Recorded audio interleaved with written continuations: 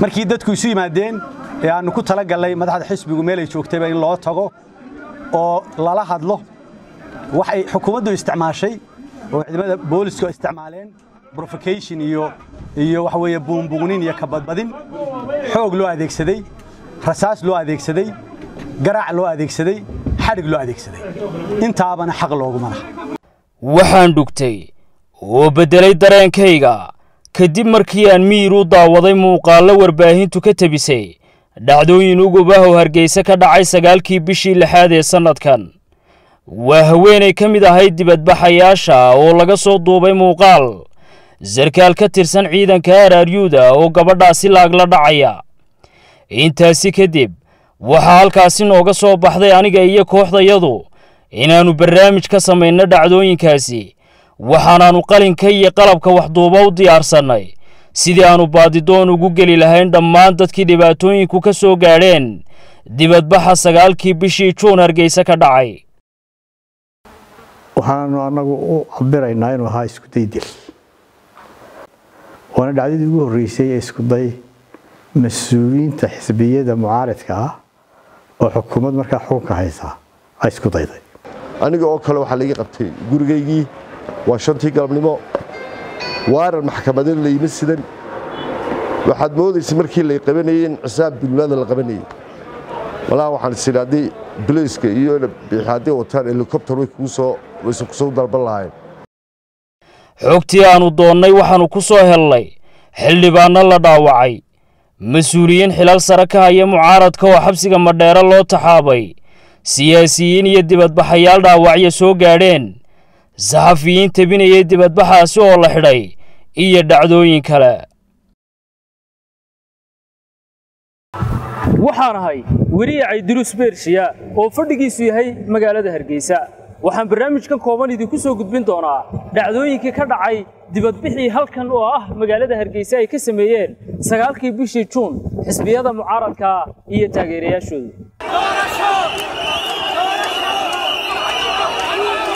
dibadbaxayaashu waxay ku dhawaaqayeen doorasho iyagoo tumaya dhawaqa siidhiga ama firimbiga kuwo kale oo sitay codbaahiyeyaal iyo qaar kale oo sitay waraaqa ay ku xardhan yihiin doorasho. Dibadbaxan oo ay horkacayeen madaxda xisbiga mucaaradka ah ee waddani ayaa ahaa mid si lama filaan ah oo aan la sii shaacin ku bilowday. Waxay socodka dibadbaxayaashu ka soo bilaabeen waddada weyn ee dhex marta suuqa hargeysa gaar ahaana sarta weyn ee loo yaqaano city center hortiisa. Subaxaasi oo taariikhdu ay ahayd sagaalkii juun laba kun labayo labaatan waxa waddooyinka suuqa lagu arkayey ciidanka booliska dibadbaxayaasha ayaa ugu dambayn waxay iskugu biyo shubteen fagaaraha khayriyada ah halkaasi oo ay ahayd goobta loo asteeyey in madaxda mucaaradku kala hadlaan taageerayaashooda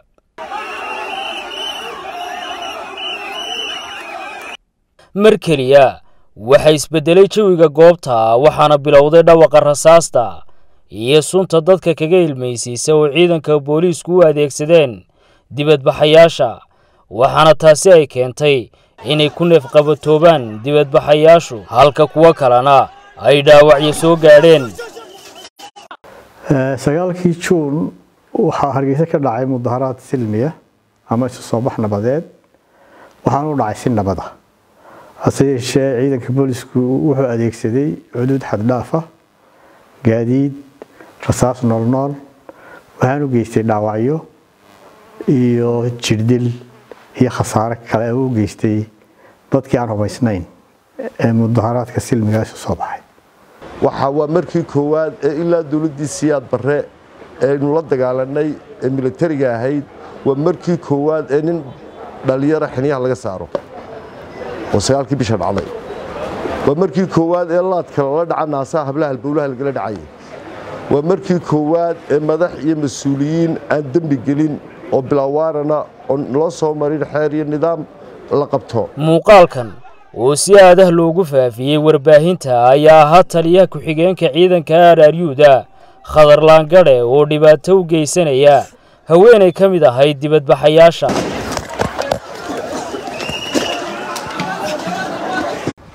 anigoo iska socda oo qoryaha ugu horreeya ka mid ah ciidamadu fayl bay isu taageen jooga bay nagu yidhaahdeen aniga qabteenoo nin dharcadahoo dadkii ka mid ahaayoonan askari moodeyni markaa ayay qabtay.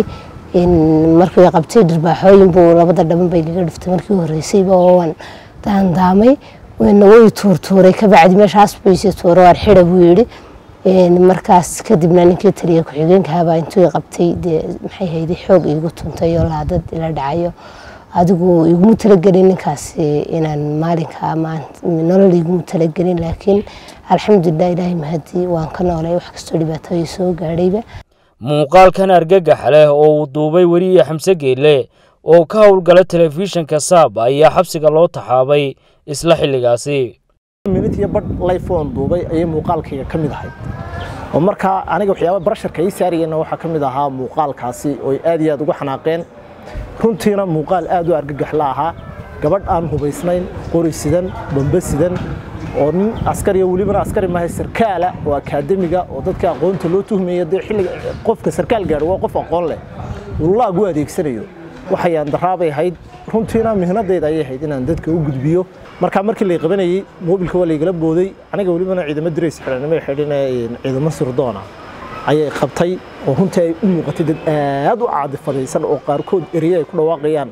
Aan qarannimada somalilan u fiicnayn oo dad inay dowladda leeyihiin oo kale u arkayo kale dowladdeedaad ku socotaa soo leydmo oo annaga xitaa xaafada dee erey qabiil oo kale kugula dhaqmaya oo kornaya cid baa soo dirtaa mar reer baad ka socotaan. Markaa dadkaasaana qabtay aniga shakhsiyan markaa qabtay markaa sad afar nin bay ahaayeen oo aad bay markaa ii garaaceen. Laba qabteen markaa gaadhigii shabaglaha ay igu rideen. Kani waa maxamed cali maxamed oo ka mid ahaa dibadbaxayaasha. Waxaanu goobjoogu ka ahaa halka ay dhacdadaasi ka dhacaysay. Sagaal maalmood oo uu xidhnaa kadib waxaa laga soo daayey xabsiga si loo daweeyo. Waxaana lagu sameeyey qalliin kaasi oo markii dambe laga saaray xiniintiisa bidix oo sida uu sheegay dhaawac ka soo gaadhay markii ciidanku ay qabanayeen. Sagaalkii juun waxay soo gaadheen annagoo mudaharaad salmiya wadna oo aan waxuba sidan ayaanu arkay. Anigu horta shakhsi ahaan arkay inan dhibaato loo geysanayo oo bilays ku tumanayaan. Dabadeetana ka qaba baan siro war ka daaya baan idhi. Way la dagaalameen. Dhulkay dhigteen. Xiniintaygaga tunteen oo laadigala dhaceen. In mukhtaar laydhaaba igu dhuftay oo madaxa baadhaha saldhigga dhaxaa. Waa lay xidhay anigoo aan weliba dee miyirkaygu joogin muddo sagaal cishaana waan ku xidhnaa wax dhakhtarana maan arag. Markii laysoo daayay dhaawacii soo gaadhay markii kombyuutar lay saaray lay sawiray waxaa lay sheegay in xiniintaydii dhimatay waa lay qalay. Marka hore dheecaan baa horta laga soo daayey iyo xinjiro laba cisho markii aan qalnaa baa haddana dub lay sawiray waxaa lay sheegay inaan xiniintaydu rajo lahayn oo ay dhimatay. Xididkayguna uu go-an yahay xididkii xiniinta ku tallaallaa dabadeetana oo lay qalo waa layga soo saaray gebi ahaanba xiniintii bidix war-saxaafadeed ay ciidanka booliska somalilan kaga jawaabayeen dhacdada maxamed cali maxamed oo xiniinta bidix laga saaray ayaa nuxurkiisa waxa uu ku soo ururayey labadan qodob. Kow ciidanku waxay sheegeen in saraakiil baadhayey kiiska maxamed cali. Wuu u sheegay in dhagax kaga dhacay xiniinta isagoo askari hayo. Sidoo kale warbixinta booliska ayaa waxaa lagu sheegay inuu hore dhaawacan uu u qabay isla markaasina uu ka been abuurtay ciidanka booliska. Waxba kama jiraan waxba kama jiraan iyo waa been iyo manaawaal mar waxay yidhaahdeen annagoo qacmaha inuu dhagax ku dhacay. Marna waxay yidhaahdeen walaalkiioo xanuunsanayaa siddeed sanno ka hor ku dhuftay. Subxaan allah anigu xiniintu siddeed sanno imay dhaawacnayn kamanaan bukin umaan dee socdeen. Siddeeddaa sannaba carruur badan oo dhalay baa jira. Carruurtaydu tiradoodu iyagu si kooban uma hayaanoo saddex ciyaala markuu dhalayba ay yidhaahdeen dhalba markaasaa ugu dambayso oo been bay iga sheegeen maca awlaadda iga habaarayeen. Ilmahayga u yaray imika siddeed bilood buu jiraa. Carruurtayduna saddex way ka badantay inkastoo aan halkan ku soo koobayn. Hala yimaad ha keenaan iyagu waxay ay caddayn hayaan xunbay la tahay inay xaqayga isleeyiin duudsiya iyagu. Oo dee nabaraan qarsoomayn baa igu yaallay. Ilaahay ummaddiisuba wada arkaysay. Been cadna way sheegayeen weliba laba jeer bay kala hadleen marna waxay yidhaahdeen walaalkii baa ku dhuftay. Marna waxay dhahan bileysku annagoo qacmaa haynaa dhagaxii mudaharaadayaashu tuurayey ku dhaceen mudaharaadayaashu dhagax may tuurin bileyskaa dhagaxna tuurayey.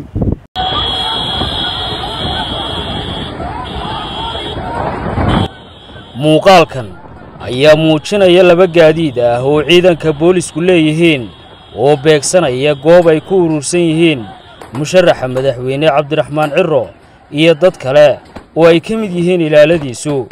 Ugu dambayntiina gaadiidka ciidanka ayaa turuska ku dhufanaya mid ka mid a ilaalada musharaxa. Dhacdadaasi waa mid ku cusub. Somalilan mudaharaadyana hore way uga dhaceen. Goobtii aan markaa ku sugnaa waxaa si badheedh ah naloogu soo diray gaadiid. Gaadiidkaasoo loogu talagalay inuu na jiidho waxaanu anagu u cabiraynaa inuu ahaa isku daydil dhacdadaasi uma baahna marag. Si weyn baa ummaddu uga daawatay baraha bulshada. Waanay ku jiraan waana dhacdadii ugu horreysay ee isku day mas'uuliyiinta xisbiyada mucaaridka ah oo xukuumad markaa xukunka haysa ay isku dayday. Dibadbaxayaasha dhaawacyadu soo gaadheen waxaa ka mid ahaa mas'uuliyiin kala duwan oo sheegay inay xabad nooli ku dhacday. Cawiil galaydh oo ka tirsan madaxda xisbiga waddani waxa uu sheegay in dhaawacyo kala duwani soo gaadheen. Waxaanuu sheegay inay ku dhaceen falliidhada rasaasta oo jidhkiisa meelo badan ka galay. Waxaa sidoo kale dhaawac ka soo gaadhay indhaha iyo dhegaha. Waxaan dhaawacmay sagaalkii bisha tobankii oo ruucla ayaan ku dhaawacmay khayryada halka diyaaradda hoosteeda. Qofkii ugu horreeyay dhaawacmayna waan ahaa. Waxaa aniga dhaawac iga soo gaadhay gacanta midig ayaa iga soo gaadhay iyo lugta bidix iyo labada dhagood iyo indhaha. Markaa goobtii baan anigu ku indhahu damigu noqdeen labada dhagood dami noqdeen. Bambay ahayd. Bambaduna waa bambadaa jirka tanna waxa weye xabad weeyaan. Haddii lahayd maayo bambadaasu labada indhood badan bay ga siisay labada dhagood bay siisay labada dhagood dhiig baa iga yimi. Labada indhoodna markaa saacaddaa waxba kamaan arkayn. Wax yar dabadeedna ishaa ishaas ay baxday midig. Tii bidixnaa sidii bay ayaan ku waayey oo ay ku maqan tahay. Labada dhagoodna dhiig baa iga yimi. Jirkaygana faliidho fara badan baa galay. Afar iyo tobankii nin loo dhaadhiciyo mandheera. Iyo anigu isku kiis baan shan iyo toban baan ku ahaa sidaas waa damiin dhaawac damiin dhaawac laygu reebay ee caafimaad. Dhakhtarka weyn baa laygeeyey nabaradii baa la tolay ishii waa la arkay dhegtii waa la arkay. Dhakhtarku wuxuu yihi deg deg iminka ishan interar bidhin baa jiro dhiig dhiig baa ku furan. Ishu waa la qaraxsata waxbay qabtaa. Deg deg ha loo geeyo manhal saldhiga markay keenay inanka baadhaha iyo askartii riboodka waxay ku bixiyeen ninka waxaa la yidhi dhakhtar ha la geeyo oo ninkan ishu il baa wax qabto oo dhaawac culus. Dabadeedna ninka taliyaha saldhiga ayaa diiday oo yihi gal saldhiga igu riday oo xareeyey. Halkaasaa dhibaatadu ka dhacday waayo khamiis iyo jimce iyo sabti oo galabnimadii laysoo daayey. Saddexdaa casho ayaa dhakhtarka ayaa ayaan jeel ku xidhnaa.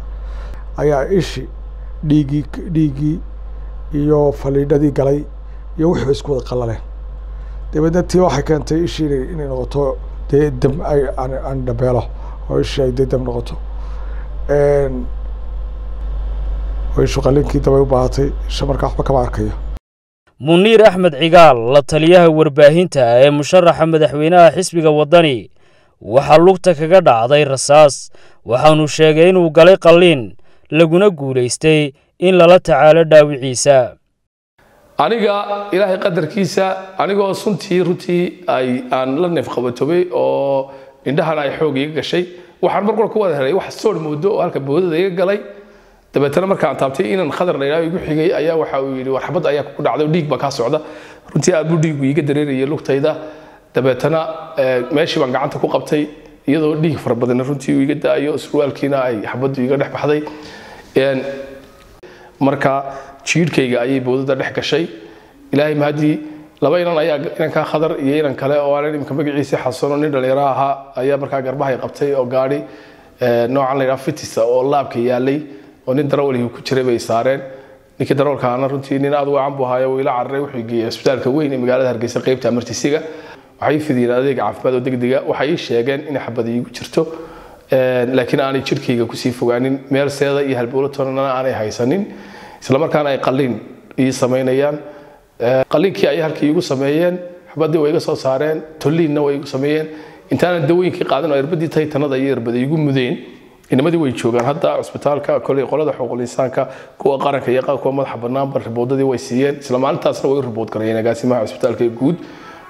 Dadkii cusbitaalka la keenay inaan ka mid ahaa oo ay halkaa qalliin igu sameeyeen xabaddan iga soo saareen waxaa dhacday in markaa xaaladdu ay qasnayd oo dadka dhaawaca qudhooda aan la xidhayay sidaa daraaddeed ciidamo ayaa meeshii yimi. Anigana markaa waxaa ii yimi xildhibaan cabdilaahi yuusuf axmed oo ah xildhibaan local m p-gayga ama xildhibaankayga deegaanka ah iyo gudoomiye cali xamed jibriil. Waxay igu wargeliyeen markaa haddii qalliinkii lay sameeyey inay dawooyinka igu soo qaadi doonaan oo ay dhakhtarka iga saaraan sidii ayaan dhakhtarka kaga baxay. Xildhibaan barkhad jaamac batuun oo ka tirsan golaha wakiiladu waxa uu sheegay inuu dhaawac ka soo gaadhay dibadbaxaasi. Xildhibaan saleemaafood oo ka tirsan xildhibaanada golaha wakiilada ee qaybta ka ahaa dibadbaxaasi ayaa dhaawacyo kala duwani ka soo gaadheen waxaana hadda uu ku sugan yahay dalka dibaddiisa halkaasi oo lagula tacaalaya dhaawacyadii soo gaadhay. Si nabada baanu isaga soo baxnay waxaanu doonnay markaa hodheelkan la yidhahdo damal inaanu xaggiisa u soo dhaqaano. Annagu waxaan meel saddex ama afar hayn. Waxaa naga horyimi ciidan aad u fara badan. Markaa ciidankiiba aniga ila hadlay. Markaa waxaan ku uhi waxaan u socdaa xaggaasaan u socdaa. Wax dhibaan anigu ma wadan dhibaana waan ahay. Waxaa naloogu yeedhay markaa ciidan baa laygu dalbaday. Sida qof bili aadan loo jirdilo sida ugu xun baa lii jirdilay. Halkan madaxu nabarro badan baa igaga yaalla oo weliba si aad iyo aad ii xanuunaya oo dareenkayga aad u bedelay runtii halkan feedhaha iyaduna way duuban tahay kama isma dee kama qaadi karo. Laakiin halkan feedhuhuna waxaan is leeyahay jabniin maaha laakiin waan hubinaya insha allah halkan kale adinka nabar weyn baa yaalla jabniin maaha isaguna laakiin isaga waa idin tusi waa kan oo kale. Halkan waa ku yaallaa nabar weyn baa igaga yaalla isaguna. Dhaawac hore igaga yaallay xabad hore halkan igaga taallay laakiin tanuna waxaan u iyaduna iminka.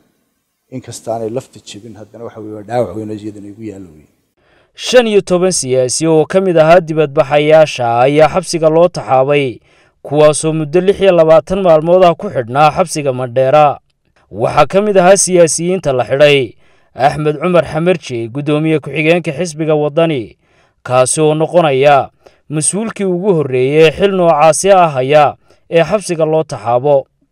Aniga oo kale waxaa laiga qabtay gurigaygii waa shantii galabnimo waaran maxkamadeed la yimi sidan waxaad moodaysa markii lay qabanayey in cisaab dulmaada la qabanayey walaa waxaan isidhi haddii bilayska iyo haddii wataan helikobter way kugu soo wayse ku soo dalban lahayn afar gaadhi baa laygu soo doonay.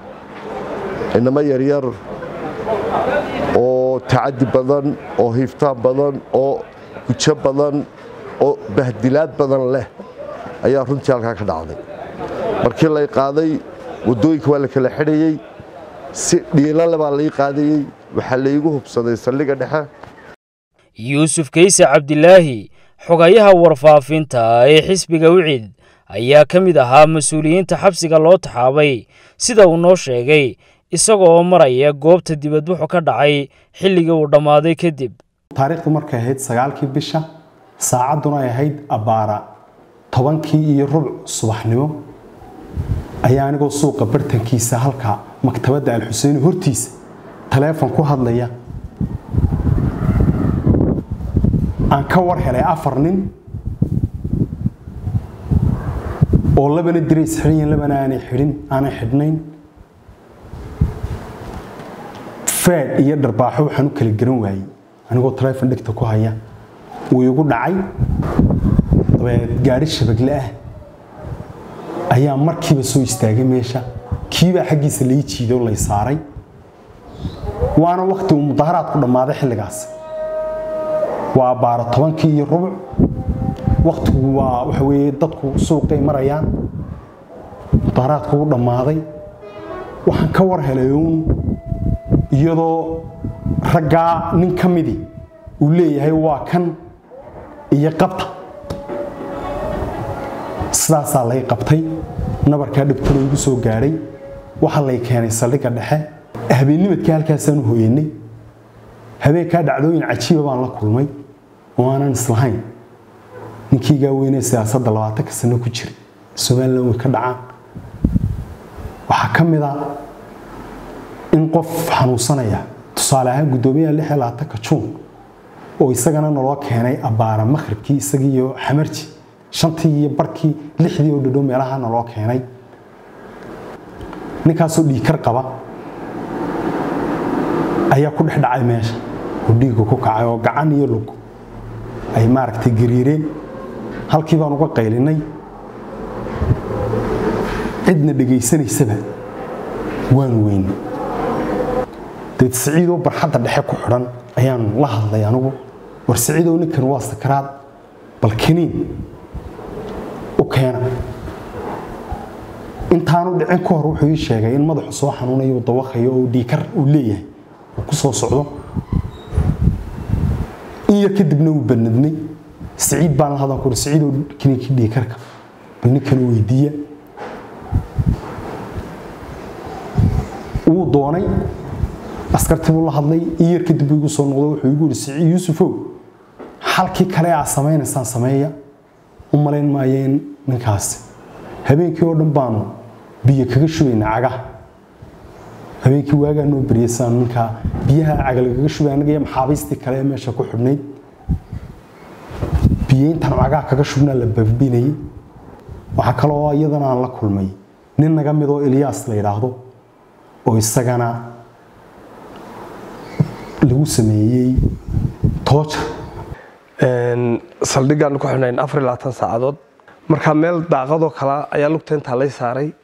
Lugta sida gidaarka gidaarku wakaamay lugta saa laygu xidhay. Markii magarsa dee aan taagnaan kari waayey ayaan markaa dhabar dhabar oo kale magarsa isu dhigay. Xaggaa dambena cawo iyo waxbaa lagaga soo gufay. Markaa madaxayga iyo garbahayga unbaa dhulka taabanayey haddana habeenkii afar saacadood markaan adigu daldalaa meelaha meelaha markhaatiyadiisa wuu fogayaa dee raggii iga soo furfuray ayaa joogo cabdilaahi maxamed daahir baa yidhaahday iyo cawilgalaydhiyo baa magarasa yidhahday war ka furfuro ka sii daaya. Waa kan dee dhiiggii madaxa ka gorre qolkoodii baa lay geeyey. Habeenkiiba haddana layla soo baxa. Markay ilaa labadii tahay habeennimo haddana waa laygu xidhay. Marka habeenka adigu ilaa baan ku xidhnaa. Baan ku xidhnaa. Musharax madaxweyne cabdiraxmaan maxamed cabdilaahi ciro madax kala duwan oo ka tirsan xisbigaaga ayaa la dhaawacay qaar la xidhay. Sidoo kalena adiga laftigaaga ayaa sheegay in lagu beegsaday. Ma waxaa jiray qorshe gaara ama in si gaara loo beegsanayo madaxda xilalka ka haya xisbiga wadani ha. Sababtu waxa weeye mas'uuliyiinta la xidhay qaarkood mabay joogin goobta oo mudaaharaadkaa silmigii ka dhacay. Waxaa ka mid ahaa labada guddoomiye ku-xigeen guddoomiye xamarji aan goobta markaa ka tegay aan oo gelin dambe ahayd maalintii ka dambeysayna waxaa la qabtay guddoomiye ku-xigeenkii kale maxamed yuusuf waabeeyo taasi waxay muujinaysaa inuu jiray dee iskuday badheedha oo lagu beegsanayo madaxda xisbiga kuwo kalena way jireen oo laga soo qabtay guryahooda ama meelo kale joogeen madaxweynaha aniga amarkayga soo bixiyey xilliga xidhay waa shantii maqribnimo sagaalkii subaxnimo ilaa shantii muddo dheer baa udhexaysa waxa laaliya wax jiray iyo wax socday ma jirin.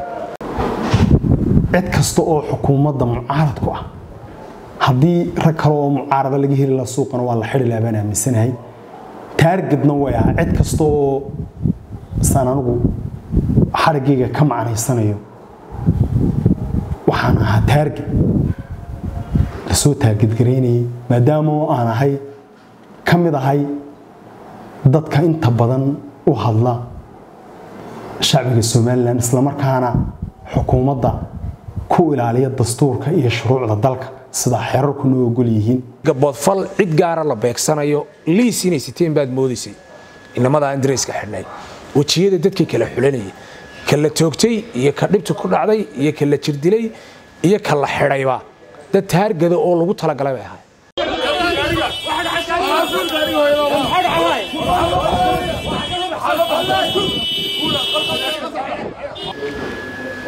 jirdilka ay igu sameeyeenna waxay igu samaynayeen taargad iyo waxa weeyeen bartilmaameedsi gaara waayo hadalladay ku hadlayeen markaan maqlaayay dadka tacadiga geystay.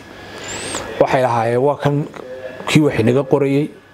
Waxaad yar moodaysay dowladnimada dad u fahamsan bakhaar ay leeyihiin oo wax laga sheegay. Haddaba xadhigga dhaawaca iyo tacadiyada ay la kulmeen dibadbaxayaashu ma waxaa jiray dhibaatooyin ay geysteen oo ay ku mutaysteen. Wax allaaliya waxay geysteen. Haba yaraatee saxarna dhaho. Aan ahayn dhib iyaga loo geystay iyagoo baa dhib loo geystay. Laakiinse mushtar ciidan xafiis muraayad bareefadoo la jebiyey wax allaaliya waxay geystay tutilmada annagu wixii dhibaato taageerayaasheeda gaadhay. Wixii madaxdeeda soo gaadhay. Wixii dhaawacii dheebish ahaa. Waxaas oo dhammi waxay nagu gaadheen inaannu siidhi tumaynay annaguna siidhi baanu sidanay. Iyo mikrofoon waxaanaanu gudbinaynay inaannu doorasho doonnahay dagaal doonnahay meesha may olada hub maanaan sidan maanaan hubaysnayn. Cid aanu wax u geysanay oo dhibaataysanay oo aanu dhibaataynay oo cabanaysa dee warbaahinta oo arki lahaydeen qofkaanu wax u geysanay maalintii buu soo taagi lahaa keliyaata waxaanu ku baaqaynay doorasho. Waxa alaali waxa dhibaataanu geysanay ma jiro. Ganacsi maanaan dhibaatayn biniaadanka loo dariiqa maraayana maanaan dhibaatayn waxaanu ku baaqaynay doorasho. Yaa arkay weli dhibaato ay geysteen banaanbaxayaashii oo duuban ama la soo tabiyey miyaad aragtay qof meherad haystoo cawday. Miyaad aragtay meel la boobay. Miyaad aragtay dhibaato ay geysteen banaanbaxayaashu waa maya. Laakiin waxaad aragtaa dhibaato loo geystay banaanbaxayaasha oo keliya. Ama ciidan ha geysto ama dharcad ha geysato ama sirdoon ha geystaan oo iyada dhacdadoodii mid kastaaba ay tahay oy duubantahay oy qorantahay oo laga wadan hubna maanaan sidan beedhna maanaan sidan quraarado kale maanaan sidan waxba maanaan sidan dee. Dad dee musharaxoodii la socdo oo dee xisbigoodii u socdo oo dee maalintoodii sheegaya mudaharaadayeen ayuun baan anagu hortahay marka waxaanu qaadan weyna baan daar nala kulmaya may annagu waanu mudaharaadaynay oo xubo maanaan sidin. Haddii laga tegi waayo siidhi baanu sidanay siidhi siidhina dee hub muu hayn dagaalna maanaan wadin dhibaatana maanaan geysan annagaa dhibaatana loo geystay annagoo weliba dhowroo fara badan. Marka annagu waxaanu sidnay ma jirto gacmaha iyagu kor bay wada taagnaayeen rag iyo dumarba haddaanu nahay. Wax laala iyo waxaanu sidinay iyo waxaanu samaynayna ma jirto. Si salmiya ayaanu waddooyinka u haysanay shucuurteedana aanu muujinayn laakiin iyagaa tacadiyada waday boolisku oo dadka leynayay oo yacni sidii dowlado kale noola dagaalamayay saan ugu geysanaa meheraduna waa meheradahayagii shacabkii baanu nahay. Dadkan qof walba isagaa nabadda kaa jecel marka waxaan kuli wax dhibaato nugu geysanayna ma jirto wax xumaanaan wadnayna ma jirin. Waxa weeyaan qof walba caruurtiisa iyo awlaaddiisa iyo ubadkiisa baa dee jooga magaalada. Inaanu dhibaato geysano iyo inaanu xumaan geysano iyo inaanu dowladda wax ku samayno toona annagu maanaan u socon. Dibadbaxaasi waxaa hadda laga joogaa muddo bil ah dadkii dhibaatadu soo gaadhayna. Waxay tirsanayaan cadaalad darro iyo inaan tallaabo laga qaadin ciddii dhibka u geysatay. Waxaanay farriimo kala duwan u dirayaan daneeyayaasha dimuqraadiyadda ee beesha caalamka iyo shacabka reer somalilan. Fariintuna waxa weeye in la badbaadiyo hannaankii dimuqraadiga ee somalilan.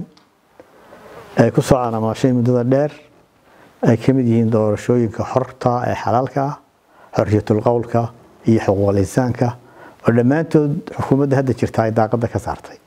Maadaama ay intaasi jirto mudaharaadka silmiga uu sii socon doono dhammaan beesha caalamka waxaan u dirayaa in madaxda biliiska ee dabagale ciidanka birmadka madaxdiisa khadar laangadhe in adduunyadu statement ay ka daba gasho waxaa kaloo adduunyadu aan u raacinayaa dhammaan waxaa jira ciidan beeleed abaabulan ciidan beeleed abaabulan oo tiraba dhowr toban ahaa oo macawisa xidhnaa qaar oo qaar ay dhar si xidhnaan baaskooda laalaadsanayeen oo dadka gacan ku dilayey oo dadka gacan ku leynayey kuwaas in la dabagalo in caawimada la siinayo ciidamada biliiska iyo tababarkooga iyo fasmadka waa nasiib daro lacagtii iyo aad ummaddiina ku ilaaliya in ummaddoodii lagu laayo.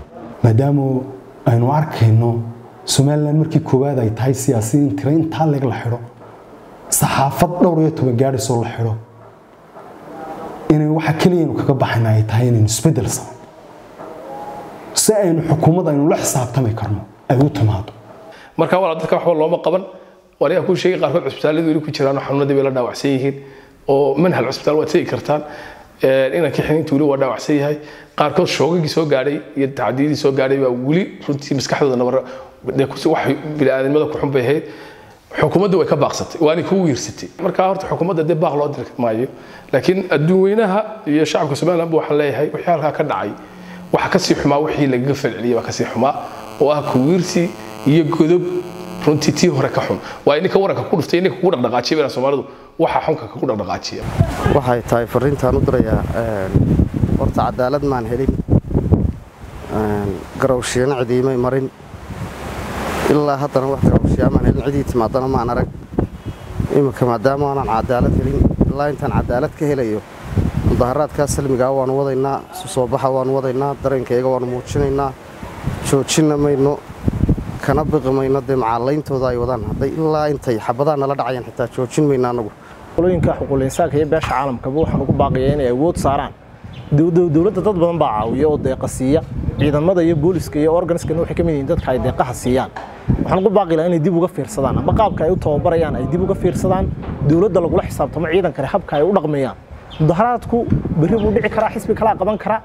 Laakiin inaan waxani aanay soo noqon oo qoladii kale timaadaana haddii aan maanta wax laga qabano gabadhaa tusaale ahaan naasaha laga garaacayo kale ama saxafkaa sida maalayacnigaa loo xidhay shaqadiisa gudanayay haddii aan maanta wax laga qaban oo aan magdhow la siinin qofku markuu iska xidhnaado ee layska sii daayay imaka anagu waxaanu xidhnayn lix iyo labaatan cisho. Caalamka compensation wax la yidhaahdo magdhowa baa laga bixiyaa qofku markuu xadhig sharci darraa ku xidhayay compensation in la sii daayaaba noo arkaynay wax weynba. Waayo wadciga waddankeena noocan oo iska ahba. Qofkii inay maxkamadda ku xukunto oo si cadaalad u xukunto ayaa sharciya. Qofku wuu iska xidhnaanaya waa la iska sii daynaya madaxweynihii baa si deg emergency iskaga yidhi waa sii daayay. Nidaam maxkamad nidaamkan maxkamaddan la marinayaba wax jira. Inaanu ahayn baad halkaa ka arkaysaa. Inaynu adduunkana u sheeganno inaynay dimuqraadiyad falalka noocaasna ka dhacaan dalkeenna ceeb bay nugu tahay anigaygu tahay adigay kugu tahay. Haddii aanaynu saxin aanaynu odhan waxaa ka jirta waa la isdaldalaa. Caruur la gaajaysiiyey baa jirta. Gaajada laftigeedu toojarka waa tagu xun hurdala-aantu waa tagu xun. Labada habeenimo intaa la soo galaa biyo lagu saydhinayaa. Marka inaynu ka wada hadalno waa dawo meel dheer iyo meel gaabanba codkayga waan gaarsiinayaa. Wixiina gaadhayna ummadda way u diiwaan tahay oo dhibaato waxaweyaan in ummaddaas xuquulisaanku soo maro dadkii wixii dhiba gaadhay. Maxaan ku dhahay arkeefya loo sameeyo la gudbiyo oo weliba cid kasta oo maanta ka hadli maaya somaliland way sii jiri doontaa haddii dunidu jirto. Cid kasta oo dhibaatada geystay in maalinteeda maxkamad la soo taago ayaan cidda gudaha somaliland jooga u gudbinayaa. Daneeyaashana waxaan leeyahay annagu waxaanu doonaynaa doorasho. Waxaanu ka doonaynaa dalkayagii waxaanu ka doonaynaa xukuumaddayadii waxaanu ka doonaynaa selmi. Waxaanu ka doonaynaa nabadgelyo. Waxaanu ka doonaynaa dibadbax selmiya ayaanu ku raadinaynay dadkaasi xaq bay u leeyihiin inay cadaalad helaan. Haddaanay maanta helinna maalin dambay heli doonaan. Dadkaa dhibaatooyinka geystay dhammaantood xogtooda waanu haynaa